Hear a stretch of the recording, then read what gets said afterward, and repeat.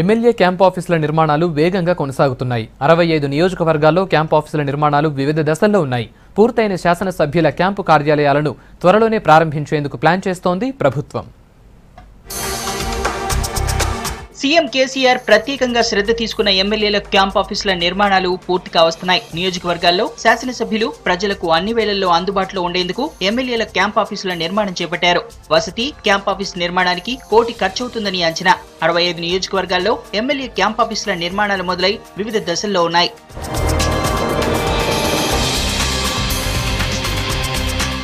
వీటిలో వరంగల్ రూరల్ జిల్లా పరకాల ఎమ్మెల్యే వస్తీ క్యాంప్ ఆఫీస్ నిర్మాణం పూర్తయింది. ఈ ఆఫీస్ను మార్చి రెండున మంత్రులు తుమ్మల నాగేశ్వరరావు చందులల్లు ప్రారంభిస్తారు. పరకాల్లో రెండు వేల ఎనిమిది వందల చదరపు గజాల స్థలంలో శాసనసభ్యుడి ఇల్లు క్యాంప్ ఆఫీస్ నిర్మించారు. ఇది రెండంతస్తుల భవనం. ఆగస్టులో నిర్మాణ పనులు ప్రారంభించి ఆరు నెలల్లో పరకాల ఎమ్మెల్యే క్యాంప్ ఆఫీస్ పూర్తి చేశారు అధికారులు. దీని నిర్మాణానికి అరవై ఎనిమిది లక్షల తొంభై రెండు వేల రూపాయలు ఖర్చు చేశారు.